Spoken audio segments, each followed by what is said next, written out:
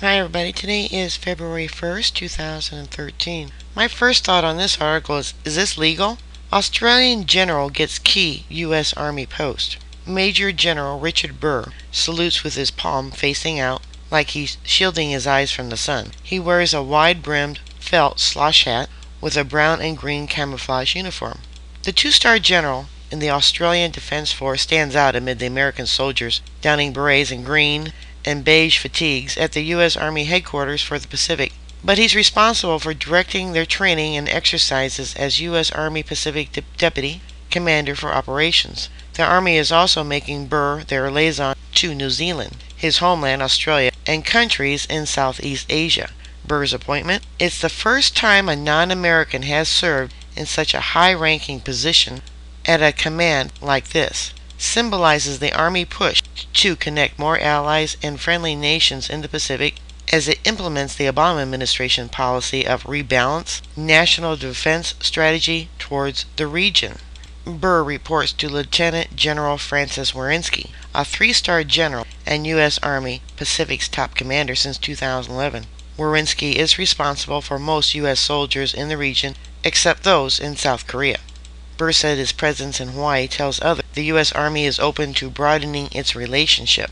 I think it sends a positive message to all countries in the region, not just our two countries, that stronger partnership is really the way to go, Burr said in an interview Wednesday, one month after arriving in Hawaii for the new job. And building from bilateral to multilateral partnership is the key to a stronger, more stable region. Sounds more like the one world system, don't it? One world government.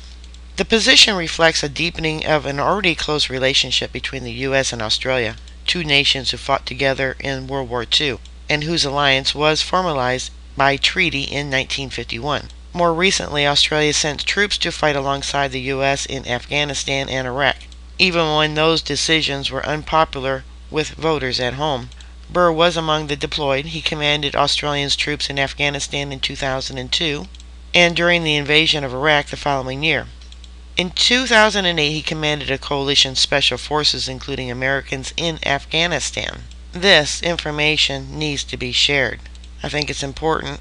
It shows the heading towards a one world system, one world government, one world military.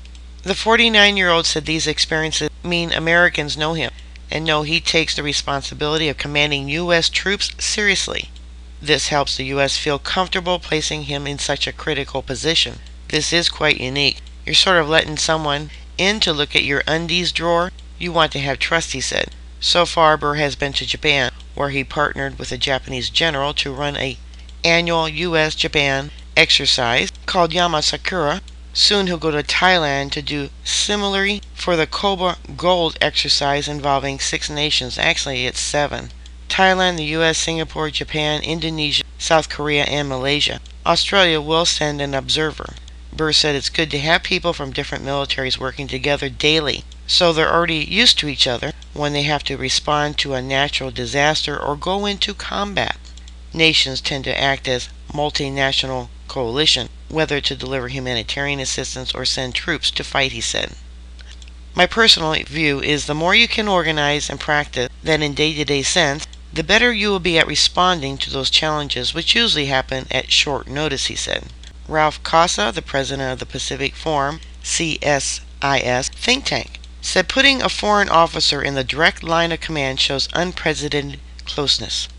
Denny Roy, the senior fellow at the West Wing Center in Honolulu, said Australia has long partnered with major powers holding similar values, first Britain and now the US, to influence the much more populous, sometimes dangerous, economically larger world to its north. Alright, you guys need to share this information. It's got One World System written all over it. Alright, bookmark my site. I'll keep everyone up to date. Please stay safe, and I'll talk to you later. God bless you all. Bye.